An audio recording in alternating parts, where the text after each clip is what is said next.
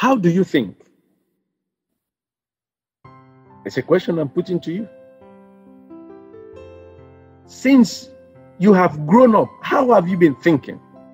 There are three levels of thinking.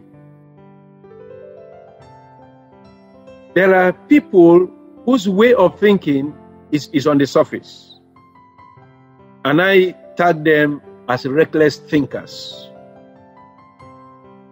And there is the second level of thinking, which is shallow thinking. And I tag those ones as adventurous thinkers. And there is the third level of thinking, which is deep thinking, which I tag safe thinking. Now, what is the difference between these three levels? The surface thinker is very assuming. He assumes everything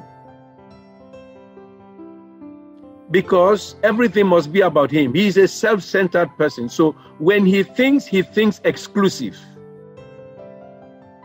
He finds reasons, he finds joy, he finds fulfillment in everything revolving around him. And so when he's thinking, he thinks only about how it affects himself. And mostly, people like this are very emotional.